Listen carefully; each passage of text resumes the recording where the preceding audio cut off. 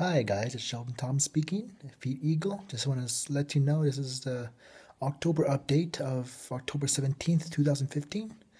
Just want to let you know it's uh, getting I'm getting tired and it's almost time for my bedtime, but just want to let you know as number 13 had came out and uh, number 12 and 11 has been out for a bit and 10.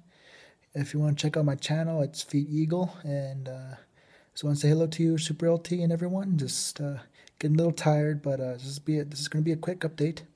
I'm still thinking about doing some more stare and stuff, and probably doing. Uh, let me see. Uh, do some more nature videos when it gets snowy. I might do some snowy videos. Probably do some more ideas on my St. Tuckin Pals 14.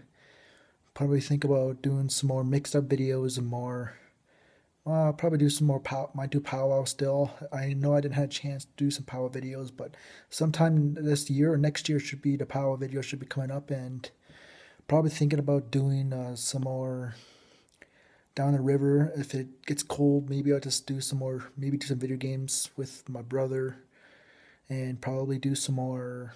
Yeah, just do those ideas and. Just, I just want to let you know up for that update, and this is Feed Eagle speaking, and hope you hear, uh, know uh, if you want requests for my ideas for videos let me know if it's okay but uh, just want to let you know it's it's a quiet night for me quiet day for me probably but talk about random stuff how my brother's doing you always say sup my peep uh sup my peeps but that's pretty pretty funny uh, but yeah Cypriot he's he's he helped me a lot with my ideas about my channel and still thinking about doing some more ideas. If I go to Edmonton, I can do an Edmonton video.